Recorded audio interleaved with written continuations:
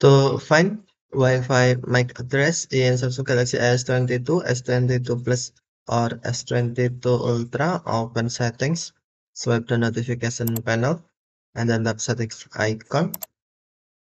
Select connections, and then select Wi-Fi. Tap the Wi-Fi number icon or three dot icon. Select advanced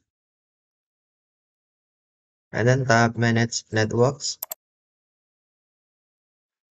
Select Wi-Fi networks you want to find uh, MAC address for example this network. And then tap view more. You can see MAC address in here.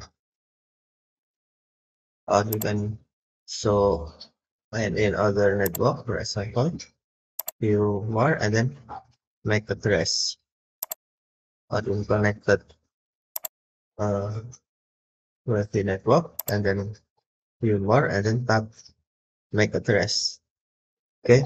Thank you for watching. Have a nice day